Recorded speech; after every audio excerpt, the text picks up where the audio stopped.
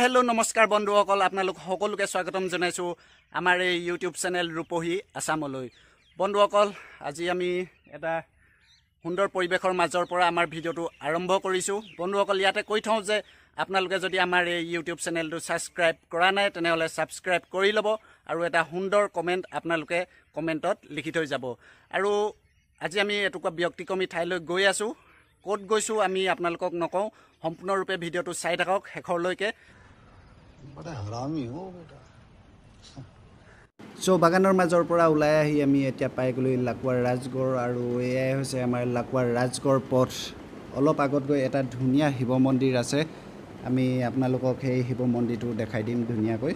আৰু ইয়াতে এটা কথা কৈ থওঁ যে আপোনালোকে বাইক চলালে হেলমেট পৰিধান কৰক আৰু হেলমেট পৰিধান কৰিলে বিপদৰ পৰা বহুত হাত সাৰিব পৰা যায়। সৌ আগত এই শিৱ মন্দিৰটোও আছে। আমি আহি শিৱ মন্দিৰ ওচৰত পাই গ'লোহি। এই শিৱ মন্দিৰটো লাকুৱা শিলিখাগুৰিত অৱস্থিত। এইটো হৈছে লাকুৱাৰ শিলিখাগুৰি শিৱ মন্দিৰ।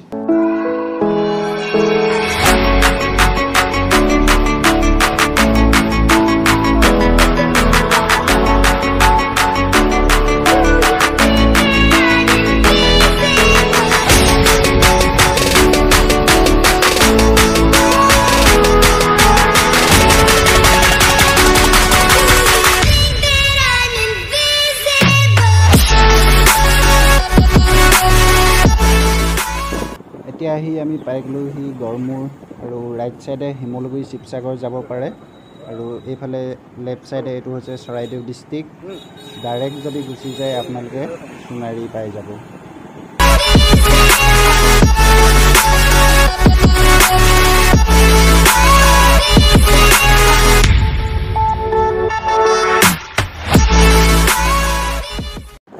চৰাইদেউলৈ সোমাই আহোঁতে আমাক চেকিং পোষ্টত ৰাখিলে আৰু কাগজ পত্ৰবিলাক চালে ঠিক আছেনে নাই। আমাৰ কাগজ পত্ৰ চব ঠিক থকা দেখি আমাক আহিবলৈ দিলে। আৰু যিজন মোৰ লগত আহিছে সি যে তামাম ভয় খালে কিছুমান আৰু লগতে ময়ো ভয় খালোঁ বাৰু অলপ। তো যি কি নহওক আমি এতিয়া আগুৱাই গৈ থাকোঁ।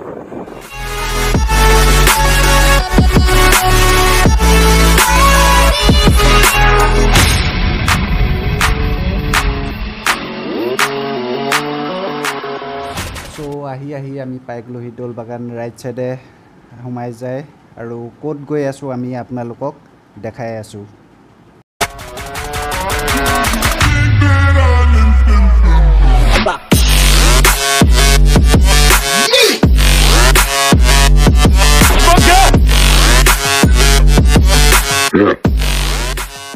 ফাইনেলি আমি আহি আহি পাই গ'লো আহোম ৰজাৰ ৰাজধানী চৰাইদেউ।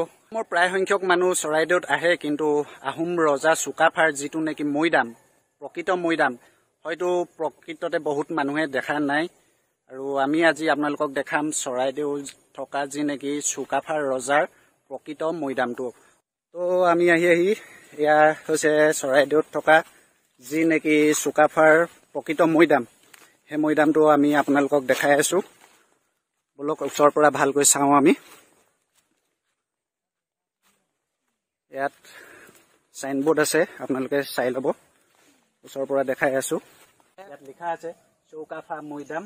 আৰু ইয়াত চাওক আপোনালোকে বাৰশ আঠাইছ খ্ৰীষ্টাব্দৰ পৰা আৰু বাৰশ আঠষষ্ঠি চনলৈকে তাহানি দিনৰ কথা এইবিলাক। বুৰঞ্জী প্ৰসিদ্ধ এই চৰাইদেউ সংৰক্ষিত উন্নয়ন মঞ্চ হয়। আৰু এইফালে অলপ কিনাৰত আছে আমি দেখাই দিছোঁ। এইফালে কিনাৰত আছে চৰাইদেউ যি নেকি চাউলুং চুকাফাৰ প্ৰকৃত মৈদাম। এইটোৱে হৈছে চৰাইদেউত থকা যি নেকি চুকাফা চুকাফাৰ ৰজাৰ প্ৰকৃত মৈদাম। আপোনালোকে চাওক ইমান ধুনীয়াকৈ সংৰক্ষিত কৰি ৰাখিছে। অসমৰ প্ৰায় সংখ্যক মানুহে এই যিটো নেকি চৰাইদেউত থকা চুকাফাৰ মৈদাম এইটো দেখা নাই। অসমৰ প্ৰায় সংখ্যক মানুহে। চাওক না ইমান ধুনীয়াকৈ সংৰক্ষিত কৰি ৰাখিছে।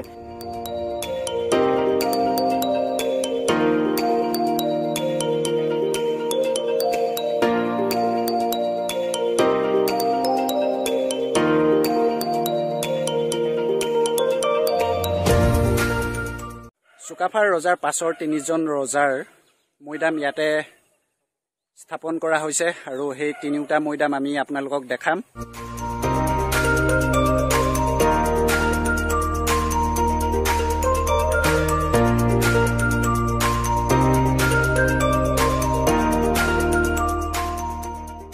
চুকাফা ৰজাৰ পাছত যিজন নেকি ৰজা আছিল তেওঁ হৈছে চৌতাওফা ৰজা।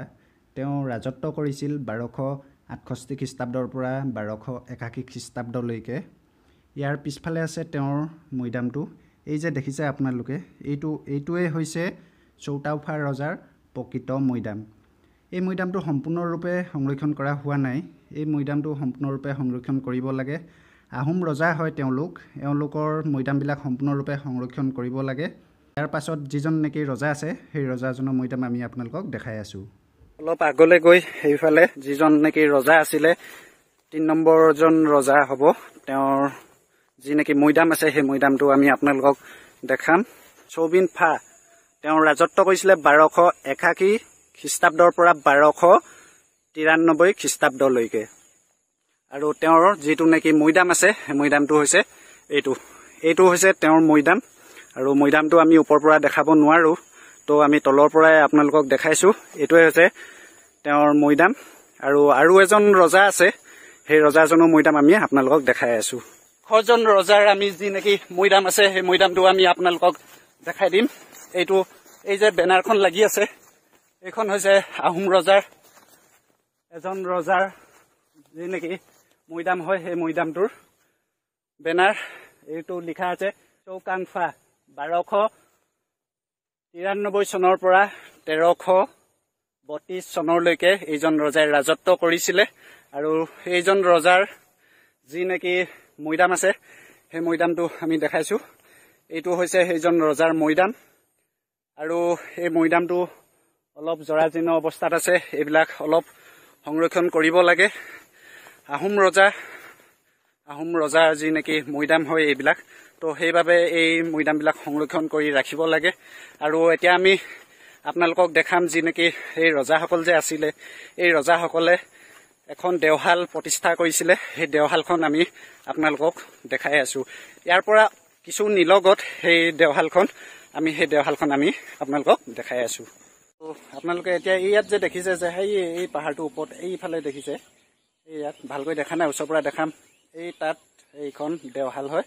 আমি ইয়াৰ ওপৰলৈকে গৈ আছোঁ। লাংকৈ দেওশাললৈ যি নেকি মুখ্য পথ এইটো মুখ্য পথটো এইফালেদিয়ে যাব লাগে। আমি ওপৰত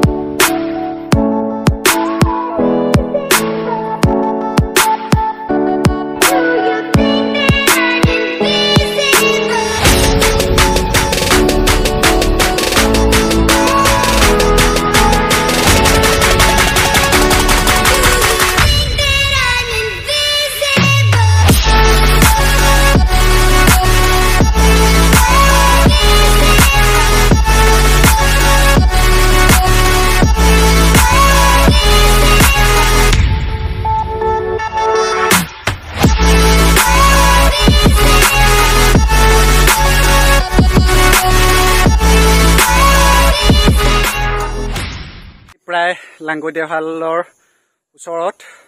আৰু অলপ আছে অলপ গৈ আমি লাংগৈ দেওশাল পাই যাম। ভাগৰ লাগি গৈছে বহুত তলৰ পৰা উঠি আহিলোঁ। আৰু ইয়াত এটা ধুনীয়া ভিউ পইণ্ট আছে আপোনালোকক দেখাইছোঁ। ভিউ পইণ্টটো আপোনালোকে চাই লওক।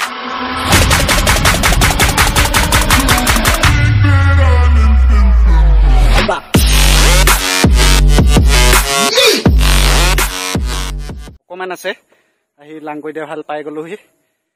আৰু এইখন আমি উঠি লওঁ।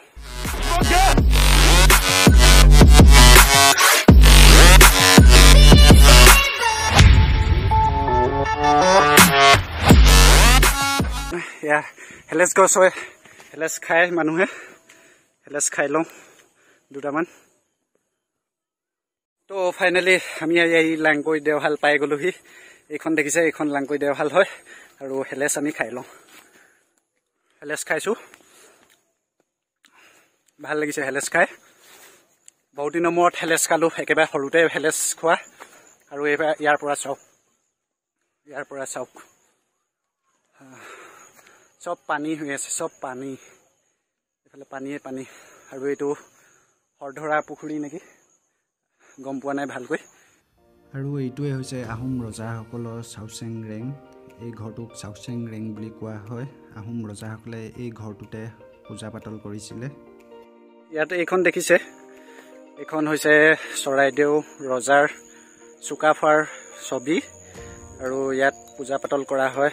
আহোম ৰজাৰ যি নেকি নিয়ম আছে সকলোবিলাক নিয়ম ইয়াত কৰা হয় পূজা পাতল কৰা হয়। আৰু এইফালে ওপৰত যি নেকি দেওশাল আছে এখন দেখাই লৈছোঁ। এখন চাওক। আৰু এইটো চাওক চেৰাইদেউ দেওশাল লিখা আছে স্থাপিত বাৰশ তেপন্ন চনত। প্ৰতিষ্ঠাতা চাউলুং চুকাফা। চৰাইদেউ আমাৰ গৌৰৱ আৰু এইখনে হৈছে দেওশাল এইখন হৈছে দেওশাল লাংকৈ দেওশাল যি নেকি লাংকৈ দেওশাল আছে কৃষ্ণ। এইবিলাক সৰু সৰু এটা এটা শিল ধুনীয়াকৈ আছে ইয়াত। এইটো খুটা। ঐ তই ক'ত উঠিলিগে? ইমান ওপৰত উঠিলে। ইয়ালৈ চাওক ইয়ালৈ চাওক। গছত উঠিছেগৈ। গছত উঠি ওপৰৰ পৰা ভিউ লৈছে। কেনেকুৱা? ধুনীয়া লাগিছেনে? ভাল লাগিছে চাই। অঁ দেখিছে ক'ত উঠি লৈছে সি। আৰু এইটো এটা শিলৰ খুটা হয়। এইবিলাক ঢালাই দি আমাৰ বৰ্তমান যি নেকি চিমেণ্ট আছে সেই চিমেণ্টে বনোৱা নহয়। শিল কাটি বনাইছিলে এইবিলাক। দেখিছে আপোনালোকে? ইয়াত চাওক। এইটো শিলেৰে বনাইছে। শিলৰ হয় এইটো। আৰু এইটো এটা পুখুৰী টাইপৰ কুঁৰা টাইপৰ।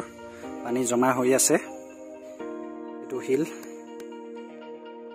আগৰ দিনৰ ৰজাবিলাকে এইবিলাক শিলেৰে কাটি নিৰ্মাণ কৰিছিলে আৰু ইয়াৰ পৰা আপুনি আপোনালোকক সকলোবিলাক দেখাইছোঁ।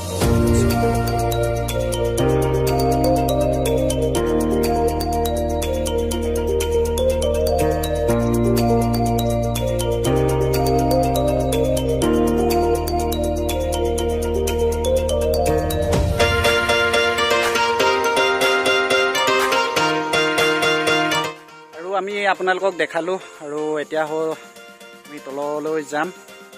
এইবিলাক দেখিছে নহয় কিমান ধুনীয়া পইণ্ট হয়। আহোম ৰজাসকলে বহুত ওপৰত আহি এইখন দেওশাল প্ৰতিষ্ঠা কৰিছিলে। আৰু আমি ইয়াৰ পৰা যাওঁ এতিয়া। এতিয়া ঘৰলৈ যাব লাগে দেৰি হৈছে বহুত। আমি ঘৰত গৈ লওঁ। আৰু তলত আমাৰ মাহী এঘৰ আছে। মাহী ঘৰত গৈ চাহ তাহ খাই লৈ আমি ইয়াৰ পৰা ঘৰৰ বাবে ৰাওনা হ'ম। ত' আজিৰ ভিডিঅ'টো ইমানতে আমি সামৰণি মাৰিছোঁ। যদি আমাৰ ভিডিঅ'টো চাই আপোনালোকে ভাল পালে তেনেহ'লে লাইক শ্বেয়াৰ কমেণ্ট কৰিব নাপাহৰিব আৰু ছাবস্ক্ৰাইব কৰি ল'ব। ত' ইমানতে আমাৰ ভিডিঅ'টো সামৰণি মাৰিছোঁ। ধন্যবাদ। জয় আই অসম।